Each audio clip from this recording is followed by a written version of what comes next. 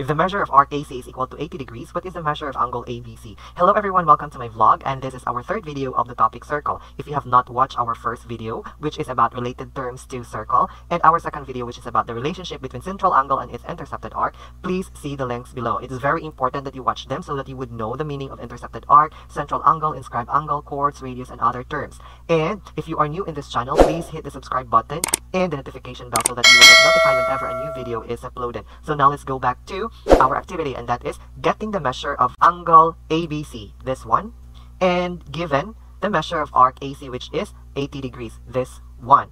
So, first of all, let us identify what is angle ABC. Okay, if you try to recall our terms related to circle, okay, angle ABC is an inscribed angle. Very good, because its vertex is in the circle or lies in the circle. Okay, how about arc AC?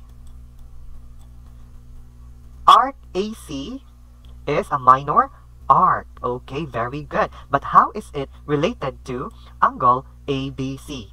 Okay, very good. Arc AC is its intercepted arc. Okay, so if we say intercepted arc, it is the arc eaten by the angle. It is the arc or a portion of a circle cut by the angle. It is in the mouth of the angle, no? Okay, so our task says that we're going to look for the measure of angle ABC given the measure of arc AC, which is 80 degrees. So how are we going to do that? I have here some examples to guide us how. Okay, I have here example number one and example number two. So let's go first in example number one. So could you tell me an inscribed angle found in example number one? Okay, very good. Still angle A, B, C. How about its intercepted arc? What is the intercepted arc of angle ABC? That is arc AC. Very good. So now let's go to the given. What is the measure of, of angle ABC? That is 25 degrees. Okay, very good. The measure of angle ABC is 25 degrees. How about the measure of arc AC? The measure of arc AC is 50 degrees. Very good. Now let's go to the example number 2. Could you tell me an inscribed angle found in example number 2? Okay, very good. Still the same. That is angle ABC. How about its measure? Its measure is 30 degrees. Okay, how about its intercepted arc? Okay, the same letters. Okay, actually you can have different letter, but in our example, it's just so happened that the letters being used are the same.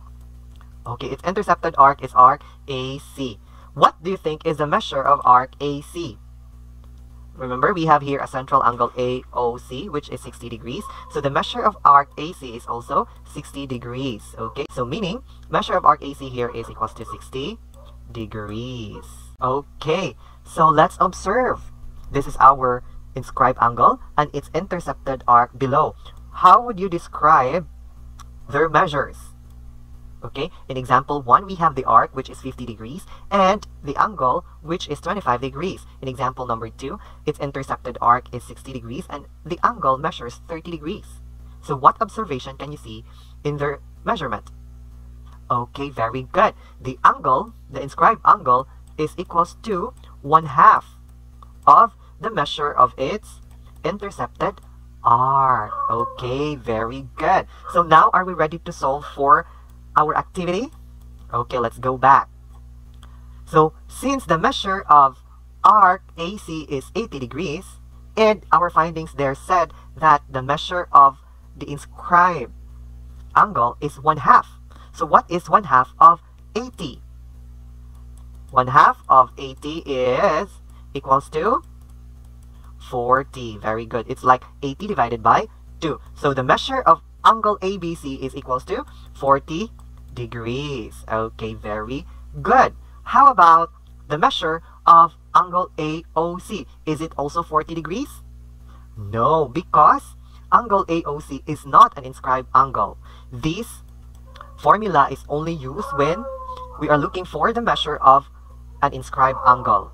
And if you try to recall, the measure of central angle is just equal to its intercepted arc. So meaning, this is also 80 degrees. Okay?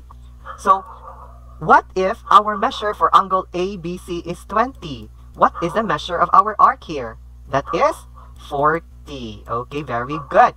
Because again, our measure for the inscribed angle is one half of its arc. So we will just, if the given is the inscribed angle, we will just multiply it by 2 to get the intercepted arc. Okay, so I hope you learned something in our video today. And if you have questions, comment down below. And if you want any topic in mathematics that you'd like me to discuss, comment down below as well. So don't forget to subscribe, like, and hit the notification bell. That's all. Bye-bye. Love lots. Mwah.